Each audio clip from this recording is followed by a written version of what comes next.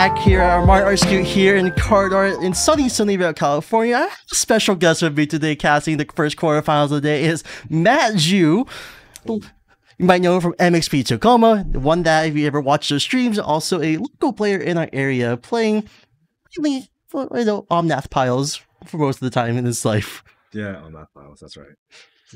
So we actually have our top eight now. We're gonna break it down a little bit here. So we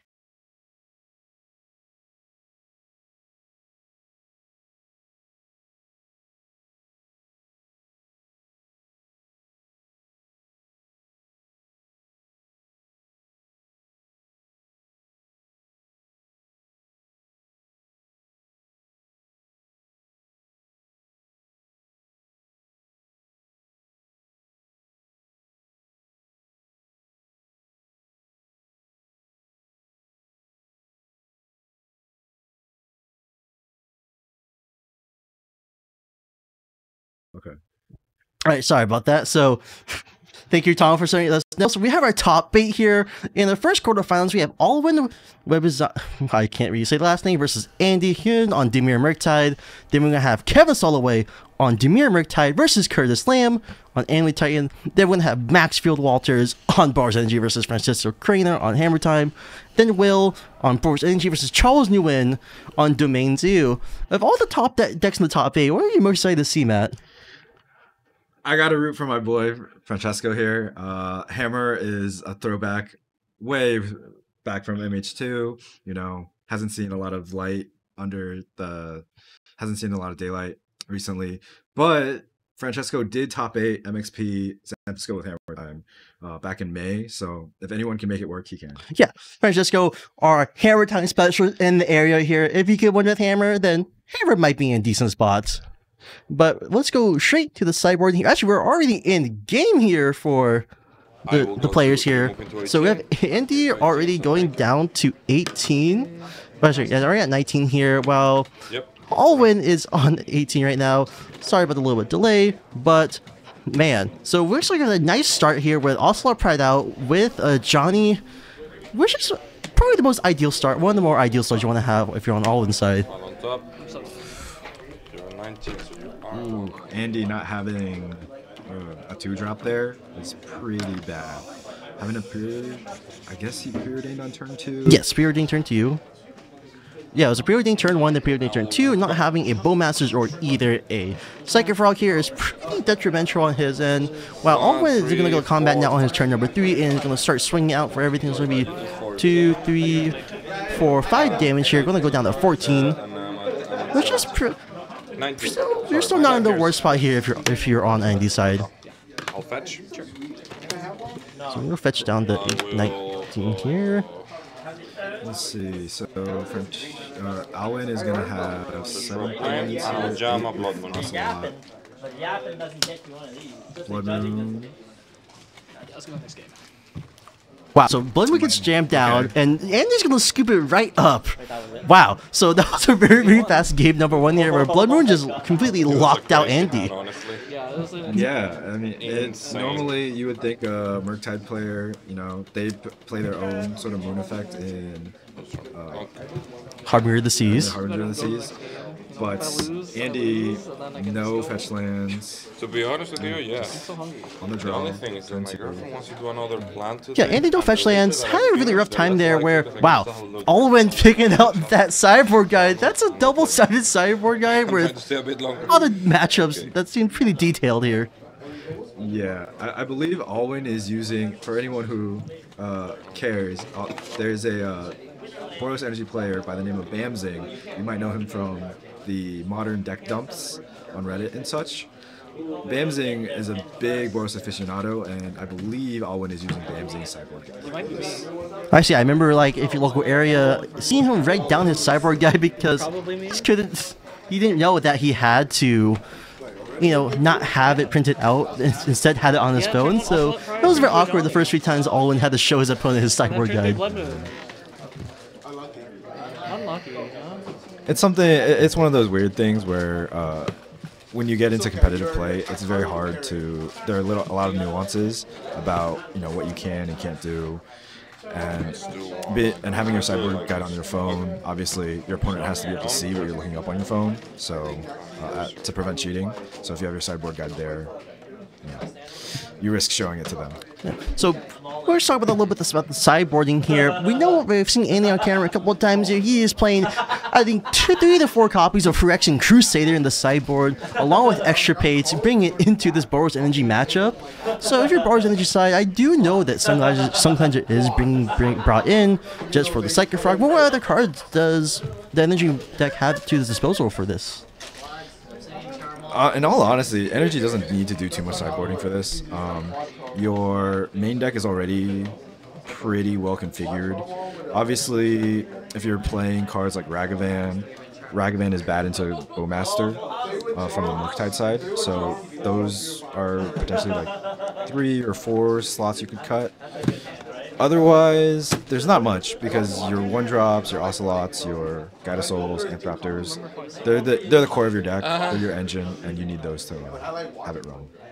I mean, yeah, I mean, I Boros got Energy, as I I far as far as I know, buy me a very nice, really uh, enjoys the Dimir Murktide matchup as they kind of guide, become more of the control deck in the matchup, where they're actually keeping the Murktide deck in check while slowly beating them down.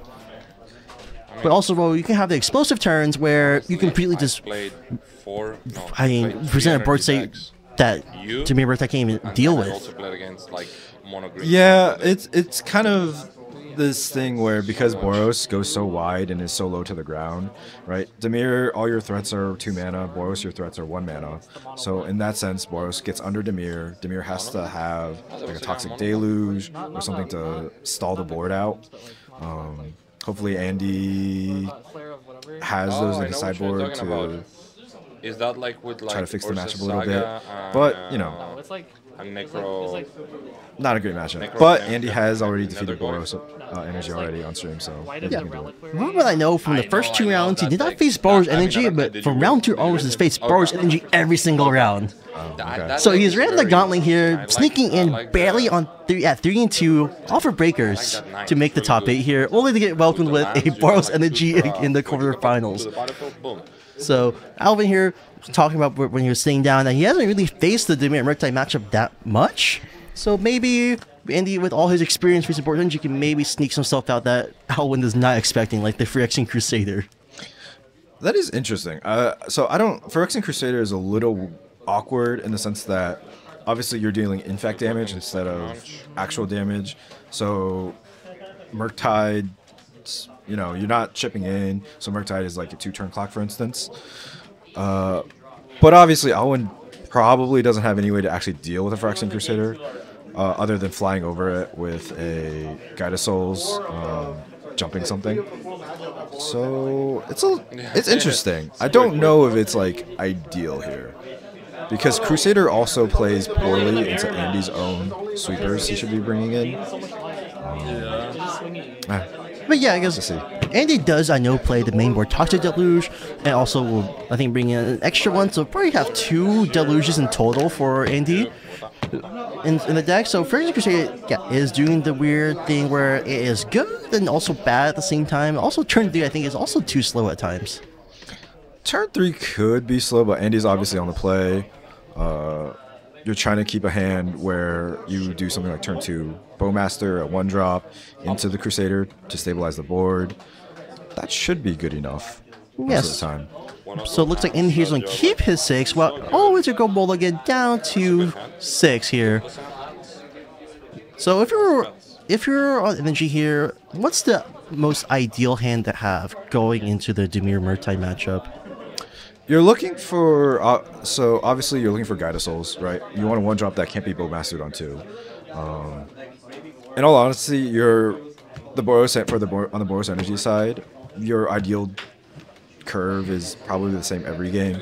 You want to go turn one of Souls into turn two Amped Raptor, flip over something good like an Ajani, a Goblin Bombardment. Um, in this case, Alwyn can even flip over a Blood Moon and it might lock Andy out of the game like it did in game one. Yeah, and on Andy's side, I'm pretty sure you most likely want to have the interaction turn the first one to two turns, get or have your turn two drop as well. Also have other removal suites like Fatal Push and Go Grove of the Throat, and maybe the Toxic Deluge in the hand as well. So we're gonna get right into game here where we're gonna have a fetch into With an island. a preordain. So fetching an to one here might need. We're gonna play around the blood moon a little bit more now. It looks like we're playing around the blood moon here. It looks like we're playing around the blood moon. And so it looks like we're finally to start respecting it because after that game number one, I don't think we want another repeat of that. So we're So with a preordain, let's see what Andy's from the top or bottom and draw, but he, he would top both as well. So it looks like we're going to have a Fatal Push and Island. Not too bad. Looks like we have Force Negation in hand as well. So we're going to bottom the Force Negation. And we're going to draw the push. Oh, sorry. Bottom the island, draw the push here. Interesting that Andy kept in force negation. Um, I guess you, you can hit a ring or a blood moon, but that does play a little awkwardly into Boros's creatures. Yeah, especially when you're playing the Consign to Memory as well. So it's a little bit awkward there. So we're gonna go down 18 here. Are we, face, are we fetching basic swamp here? I mean, it's, it, it, it's face up no counter spell mana. But also, too, you are going to play it on Blood Moon a bit. It looks like we are going to be searching for that swamp that we have in the deck here. Actually, this could mean we have Harbor of the Seas potentially as well. It could. Um, Island Island is a little awkward. Um, obviously, you know, Island Island probably represents Counterspell, but Counterspell isn't actually the best card in this matchup. Hey, you. Oh wait, no, it was Swamp. Froggy. Yeah, it's a swamp. Oh okay. Yeah, so it's a swamp. We can play the second frog out. This frog has been pretty good every time we've seen it on camera here. But we're gonna have Mount to come out here and play out that Ajani, go for it. which has shown to be a pretty big problem in a lot of these games we had on camera here. Yeah, but Andy right now he can ju- he has enough cards in his graveyard to jump the frog, get in, draw a card. Has the removal for the Ajani in case. Um, Let's look at Frog. Oh, interesting. Let's see. 'Cause Andy can sort of blow Alwyn out here by discarding a card and then pushing the Ajani. Yeah, so we're gonna what have the block happen here. Discard, clean the cling the dust, get a counter on the frog, Counter. It'll die and then the trigger goes on the stack. Yeah, triggers on the stack. and then we have the fatal push come out now I with the didn't need to, you know. I didn't need to. Uh, So we're playing pretty well here. Now we still have double blue up potentially, Actually or a bluffing the counter spell where we know it's consigned and force negation. I'm not sure what the third card is, but I don't think you're in the worst spot here if you're Andy. Of course, of course. Uh, I, you're not in the worst spot, but you're not in the best spot either because you did spend two cards to get rid of a single Ajani. Um, plus, you didn't get to draw a card off the Psychic Frog. In this situation, like obviously Andy cleared the board, and you really want to do that as the Dimir Murktide player, but you are trading down on cards here. Um, and so Andy having only three cards in hand to Alwyn with a full group of cards, it's a little, a little scary. So we actually have the Blood Moon Beast slam down here from Alwyn here. Now Andy has opportunity to even fetch for that basic island. I mean, I don't think we care that much as of right now for that Blood Moon. Let's see what he's gonna do here. Most likely we might fetch response, considering even maybe force negationing it, which I think it's gonna be the best option.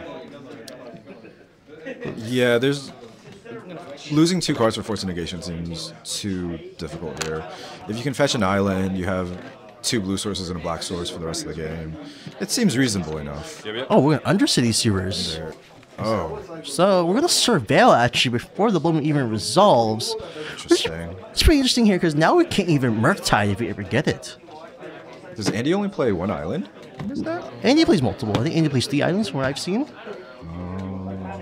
That's Extirpate off the top there, which is also pretty interesting as well. There's no flays for the extirpate though, so that probably should go to the graveyard. Yeah, this will probably will hit the bin, right? So we're gonna bin the Extirpate here, and we are actually gonna force negation, pitching preordain. Oh, it's Ooh, I don't know about that. Whoa, whoa! So we're down to only one card in hand here. Now the two with the draw step, we draw into a preordain. So we can set up the top deck here for the frog. We're actually gonna swing in for two. I'll go bring to- down to 18. We'll get the draw off of the frog as well. I want Should be 17. at 17. Uh, so it looks like Alwyn is actually at 17 here. Yeah, draw, draw. Oh yeah, because there was a fetch that happened. Plus preordain. Yeah. And then now we're gonna preordain off that draw. It's like a push in the Watery Grave, so you can put the Watery Grave on top. Interesting. Actually, we're gonna top top it. Andy currently has two consigns in hand.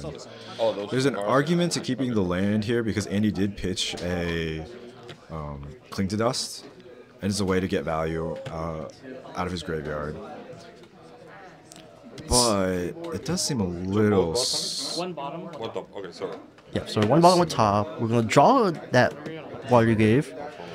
Interesting. So Andy bottomed the push. I guess Andy's not fearing any early drop, any two drops. Oh, is this a ring? One ring to the Wow. consigned memory here from Andy, so I get one. everything works out okay, I guess. Wow. Rewarded. Yeah, Andy is being heavily rewarded here for the decisions that are being made. And we drawn to the spell snare, so not too bad. So we're now going to swing it for two again. You hit another card with the frog. We get into a polluted delta here, so at least we can have our double blue basic now if we ever need it. But also, we can also get the second Surveil in to set up our next turn as well. This does seem like a situation where Andy just wants to cling end of turn while holding up um, One, two. consign and spell snare. On a Ajani. Oh, here comes the Ajani. Eats the spell snare up. So what else uh, can Alwyn do here with the three mana? Well, Going down to two cards. A second to Ajani. Not much you could do about that if you have double, so we can get uh, our cat token here.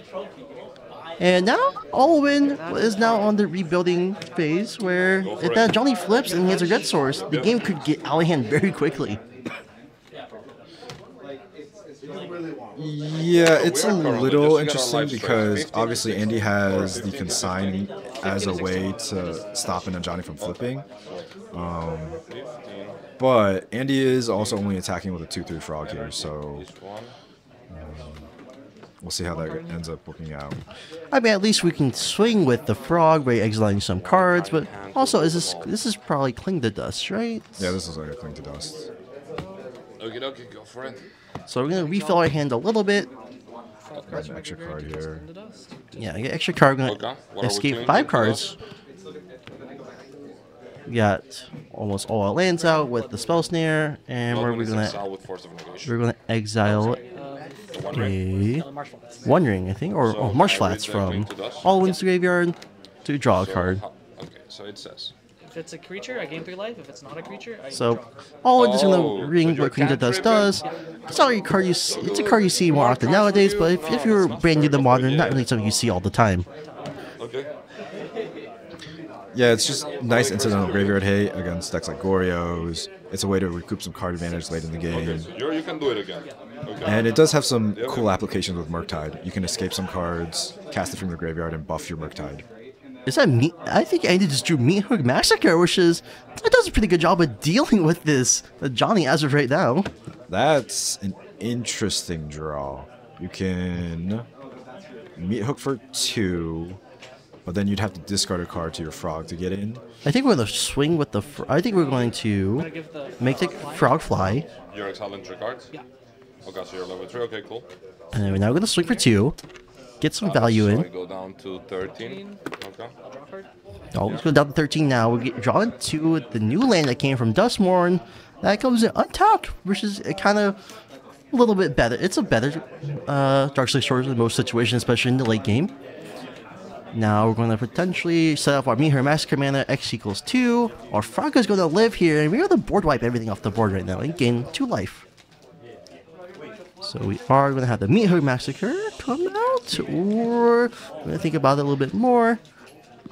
This is weird because we don't really want to. How, how much would you prioritize Meathook Massacre right now?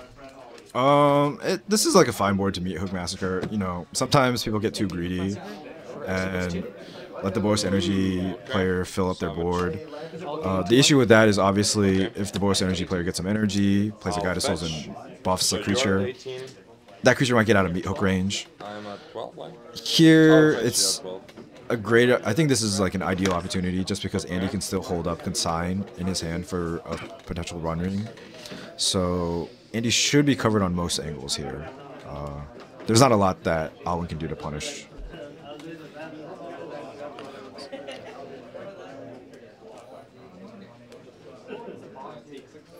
So Alwyn shuffling up, getting the Elegant Parlor here off the Arid Mesa. Gonna think to see what's on top of the land. Oh, do we? Oh yeah, we're, look, we're just looking. Yeah, we're surveilling. surveilling. We have one card in hand that's on the far right there. Debating if we should even bend this or not. Man, Andy, Andy seems pretty well positioned here with a bin the Ocelot Pride. Maybe try and search for a Flage, I'm not too sure, but we do have the Clean Dust Engraver, but we still can't escape it as of now. But this XP in Andy's hand can really stop what all it wants to potentially do in the future. But we're actually going to play out the Static Prison now. Interesting. So Andy has a choice here to try to consign the static prison. Um, obviously, it's a triggered ability when it ETBs. Yep. So When consign the trigger. okay, so Andy Andy's focusing on protecting the frog here. Energy? Or do- don't I even don't, you get don't get. You don't, you don't get that. Okay, cool. So it stayed in the battlefield, right? And then uh, I will. Yeah, so it looks like the static prison will just stay on the battlefield. Um, it is awkward that No, it's got jogging. for static prison to remain on the battlefield, Owen has to pay energy, but Owen's probably just gonna let the static prison die. So we're pick up the Gigantha here with our 3 mana, so nothing, no, nothing else in hand up besides the Gigantha. Card, so that's super. As, as Sting would say, from a sign of weakness. So that's right. Okay, cool. So we're gonna discard the Toxic Deluge to the Frog, and now Super 4, and now draw a card here. We're gonna bring down all into 8. Wow, we have one, two, three, four, five cards. Uh, go ahead. Six cards in graveyard here for Andy, so he's pass and go while leaving up the Cling to Dust at end step. Otherwise, I have to pay energy. Yeah, so Owen, as predictable, isn't gonna pay for the static prison that has no more use. Top one. That's a one. Because uh, I got So four. we Ooh, Guide of Souls. Top deck Night Souls is not too bad. So now we get to play our Gigantha, which I gonna give us a life, life and energy nine. here, so go to 9. energy going to three. 3 energy, so this Unfortunately, do not have the ability to hasten, so you can go ahead and. go with your this turn. Gigantha can start flying pretty soon here.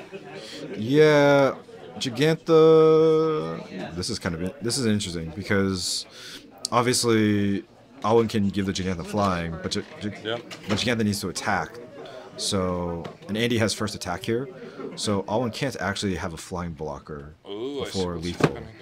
Okay. Clean the stack. So it looks like we're going to be clean addressing our entire, entire graveyard here, beside the Toxic Deluge, and On top. we exile the Static Prison. We're going to draw a card. And draw two cards here. It looks like a Fatal Push, but that, do, actually, we can Fatal Push the kind of souls before anything happens. It looks like a second frog here. We're going to discard that. Discard. Yeah. Discard. You have enough? Oh, the Phyrexian Crusader. I don't Actually, he's taking that one back real quick. Looks like he wants to. Andy wants to discard. Frog will become a f- six tough, six power thing. Yes. Um, seems reasonable. Just discard, attack. There's an argument that. Any all three cards? Yeah. Oh, okay. So Andy's just going all in with the flying here. Two turns. Okay, cool. So I go two, three. Go down to three here, all, all in. Taking five. So nine, so I go to four. Oh, go to four. Go. Um, trigger, draw card. Yep. Go down to four, we'll draw a card off that. A second frog here isn't too bad. The second frog doesn't really do too much. Um, Andy's probably just gonna play the Crusader. What? The Phyrexian Crusader here, he's been seeing a lot on the on the on the stream here, but this card did win a game by itself earlier. It is one of those cards that Boros Energy. They stare at it, and it this card says protection from your entire deck. So Yeah. Now, this Gigantha gonna put in a lot of work here because by beginning of combat, Guide of Souls needs to what? Doesn't need to attack or just on beginning of combat? The trigger happens. Guide of Souls is whenever a creature when uh, when you attack. So you can jump the Giganta here, get in for seven.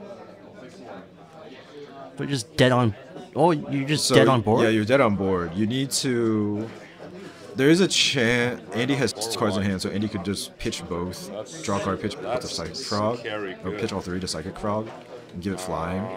So Owen needs a removal spell here for this frog. Otherwise, it looks like this game is over. It's gonna be pretty hard to remove this frog unless you have a Consign to Memory because I don't think you need to have discharge plus bolt. Well, actually, no, double discharge to even have a chance to even kill this frog. Now let's go to the second game. I don't see any. The third game, sorry. Third game. Yeah, so oh, let's scoop up the game number two here. Now we're gonna go game number three, where all of us now gonna be on the play, which uh, heavily matters a bit actually. I don't know what happened. I don't know if I too many lands. Yeah, I mean that that game basically came down to Andy had the turn two frog. Really felt That just frog wanted to drew Andy five, six plus cards that game. You know, just rolling in the card advantage. Your um, frog, yeah. clearing Alwyn's The board, clearing the Ajani's, clearing all the one drops. You protect, you Andy had a crucial Then you consignment counter my memory for ring. Alwyn's ring. Then you counter the static prison. It was, I mean, yeah, it was all the way there, not much you could do there, Okay. especially when What's happening? I What's mean, happening? I feel you're like you facing wanna down a, those, you know, a frog that's just badgers beating down every single right now. turn, discarding the hand, and strong Game. which cards as well. Yeah, The first game went yeah, yeah. And, Yeah, the first game. yeah, Andy got Andy very f- fortunate he was on the play for game two and got had the turn two frog. But Alwyn can definitely turn this around. Um, Alwyn's on turn, Alwyn's on the play for game three, and if Alwyn just leads on a couple of one drops and Andy doesn't have the pushes, um, obviously Boros Energy can just snowball the game away. I mean, yeah, Alwyn, if he has the hand of Guide of Soul's turn one, with turn two Guide of Soul's Ocelot Pride, you're in a very well position to just run away with the game. What's kind of interesting to me is Alwyn keeps it Blood Moons here. Um, obviously Blood Moon is, is, is an interesting card uh, in the matchup. Can you tie? But- yeah, no, we play until we. You have to play. Okay, cool. Yeah. Yeah. Uh, obviously, Blood Moon is an interesting card here in the matchup. But once Andy knows I need to play around Blood Moon, I'm, be able ju- to I'm just gonna fetch basics. You know, there's not a lot of benefit to having the Blood Moon in the deck, especially since you know the Boros Energy can be constrain themselves on white mana. Nasty cards you With the Blood. Moon. So it looks like both players are beginning to resolve their mulligans here. Alwyn, looking at his hand, might be wanting to keep the seven depending on what it is, but we're actually going to send it back. We're going to keep a six, and both players are actually going to send it back. Two sus. Let's go ahead. So both players are now to six here. I mean, it's perfectly fine, but I've seen some interesting mulligans today where we've, we've had some subpar cards where it didn't You really won? do much, but All right. looks like Alwyn actually One, Max one. Walters if he won this game versus Yeah. Francesco Kramer, where Max uh, takes the game on Boros Energy. uh, Oh, it looks like. Oh no, my Hammer Time lost. No. Or Goat, the Hammer Time No. Goat is Oh, gone. Why? If Francesco can't win, no one can win with Hammer. Frog? Oh, I was rooting for Frog Hammer. type? Hammer's a cool Oh, it's deck. another Yeah, frog type? Francesco, I would've thought- long time Hammer player. Always, it's hard not to for him when he's on Hammer. Hey, so. So it looks like Max Mortar Walter is going to take that, go, advancing now to the semifinals, which he's going to be one more round away to the finals, and then potentially for an invite here. Well, Do we know who Max Walters is potentially going to be playing in the top eight? I think so. We just take a we can take a real quick look at the top big bracket here. So we were just told that we actually did the bracket wrong, so we got to switch out, swap. Char- so basically, Charles and Will are actually on opposite bra- uh, the bracket. So either Max Walters is going to face either Kevin or Curtis Lamb. So we'll fix that pretty soon. But it's pretty interesting to see. Basically. Interesting. So Basically. Max is going to play either Murktide, which should be a favorable matchup, or Am Titan, which can go both ways. Yeah, it very much depends on how much both players have in hand. Also, Curtis as well depends on how well he draws. Because we've seen the Amateur on the stream here for didn't really be able to draw much. At one point, his hand was just double exploring, couldn't really do much. Sadly. That's a matchup where the Blood Moon matters a lot. Oh yeah, Blood Moon seems like a pretty good card versus the Amulet Titan deck, where Shifting Woodland it becomes your win con. Yeah. uh, that's uh that that is something. And, you know, I, it's a testament to the deck that, you know, it, with no creatures, just the shifting woodlands, you can still do stuff. Yeah, deck seems pretty damn good. So it looks like both players have resolved their mulligans here. Both players down to six. and We have a turn one Plains into Guide of Soul. So it's step number one of the perfect hand, perfect start basically.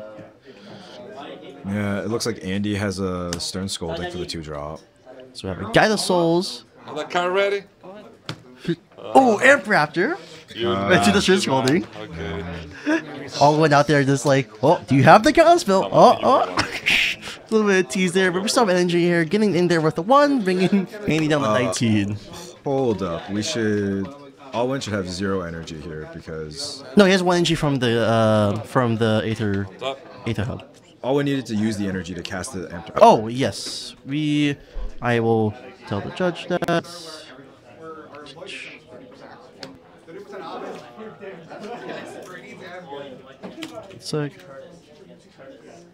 Sec.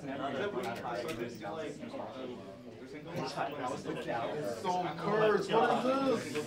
The format is just rook tie. That's all I've been casting all day. So it looks like we're gonna have an Ocelot probably come out here from Alwyn here. Sorry, we can catch up a little bit. Andy did play Vertag in the past, while Alwyn plays out Marsh Flats and then plays out the Ocelot probably, which makes it a really weird situation here for Andy. Yeah, it doesn't look like Andy has much actual interaction here. Um, as a push. Okay. is right? Okay, so Andy's gonna prevent the life gain this turn. Zero. You used it on your Amp Raptor. Oh, and then- thank you. So Yeah. looks like we did get it fixed up there where there should be no energy there because we we did use the Aether Hub Oh, yeah. for the Amp Raptor. I just don't have any energy. Sorry about that. Twitter is keeping you in check, man. This is the no. Hey guys. I was looking up at the camera there. and It's like, whoa, whoa, whoa! They check everything here. But we're down to 18 now for Andy on the end step. Wow, the Ocelot Pride does resolve. Was it Twitter? And you can potentially oh, find another removal Nice. sweep just for this Ocelot Pride because getting to City's Blessing, that's when the game is probably over. Yeah, obviously Andy. It's interesting the threat evaluation here. Andy chose to kill the Guide of Souls rather than the Ocelot Pride. Um, their Guide of Souls uh, can grow creatures, make them fly, but Ocelot Pride is an army that can. That was good. Ooh, we've topped the Phyrexian Crusader. Interesting. That I'll play friction. is very good against the Ocelot Pride. So we're gonna have our turn three Phyrexian Crusader, which where do you want to be Yeah. if you're Andy here? This is the prime time to pull out the Phyrexian Crusader if there's any time, because now we can start swinging for two infect every turn and then potentially win on the spot. Yeah, and I- Andy here obviously fetching out a basic to play around the Blood Moon. Um, all in, not a lot. It doesn't look like has too much more action in his hand. Um, it's kind of interesting how Alwyn might actually attack through this Crusader. Um, there's not a lot of answers. It looks like Andy does have the force for any potential ring. So, Alwyn's gonna need to draw some good stuff here. Yeah, all needs some of the some really good cards here. Okay, Andy pointing out we should cut his deck before he starts to surveil. So we're gonna mill over the Arid Mesa, which is pretty good. Now we're gonna draw. I mean, this opens up a spot for a turn four ring if you're all here, but also but we know that Andy has a force negation in the hand. Ooh, all of it is just saying first strike on Ocelot Pride, but we're by the Giganta here, a sign of weakness here. It has to turn. Ooh. Interesting. We have Expert in hand now for Andy. But we drop a card here. I think we dropped Expert that we just drew. Now we're going to preordain most likely here. I'm gonna cast preordain. But we also have a Stern Scolding, so we're pretty well positioned here. We're There's a consign. Okay, there's a frog. Interesting. Consign are both good cards right now, but I don't think you really care that much about the Frog if you have Phyrexian Crusader. One on top, one on I do think you kind of need the frog here because your Crusader is staying on defense to hold back the Ocelot and any future creatures. Sounds good. So frog here is your actual um, way you're gonna You get through. poison counters. So now there's two oh. poison counters here on Andy, which I think Alwyn actually has some. What's what's what's those tokens called with the dry erase? My life Infinity? total I mm-hmm. think Still 19. I'm not too sure, but we have there's two poison counters at least we know of for Andy. We don't unfortunately have a counter for it, so we're gonna keep track of it here in the studio here with, some dice of our own. It's interesting that Andy is swinging here. I don't, because obviously Crusader needs you need 10 infect to win How through many poison, cards do you have? but You have three cards. Uh, Crus- with Crusader being the only source of poison in the deck, it's hard to see Andy being able to swing five times with this creature and not exposing himself to a crackback from Alvin. Um, but maybe the frog is good enough. Yeah, maybe. I mean, this is this very similar board slate how Andy on camera last round got his winning in, where he's stringing, uh, turning the Crusader, plays a frog, goes on full defense with a frog, and just keeps the Crusader swinging every turn. But all Alwyn here, surveilling again with the second Elegant Parlor. That was grabbed here by the Arid Mesa. Looks like we might be keeping it on top. We're not too sure.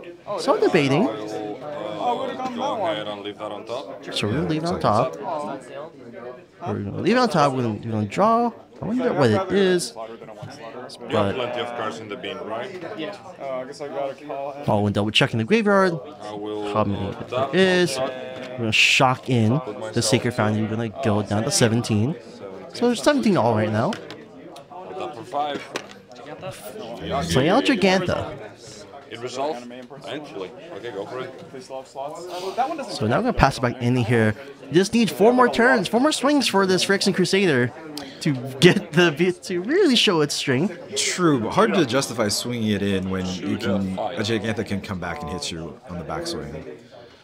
Tomorrow the enemy imports. Oh, how many imports? Where? Are you going? So let's see what is going to happen here. I have to go to work tomorrow. So we have we're gonna swing in for this reaction because I think Andy drew a Bowmasters. We can deal with an Ocelot Pride at least.